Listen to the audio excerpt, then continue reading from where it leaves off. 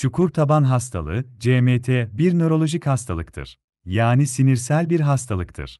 Ayağı besleyen sinirlerin çalışmamasına bağlı olarak ayaktaki bazı kaslar çalışmaz ve çalışan kaslar dominant hale gelerek ayağı deforme ederler.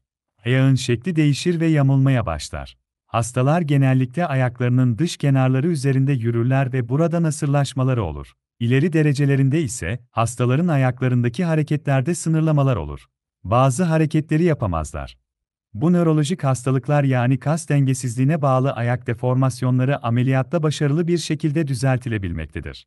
Ameliyatla yapılan hem kemikleri kesip düzeltmek hem de kas transferi yapmaktır. Aynı seansta hem kemikler kesilip düzeltilir hem de kas transferi yapılır. Sadece CMT hastalığında değil kas dengesizliği olan ve buna bağlı ayak deformasyonu olan tüm durumlarda bu ameliyatlarda çok başarılı sonuçlar alınmaktadır.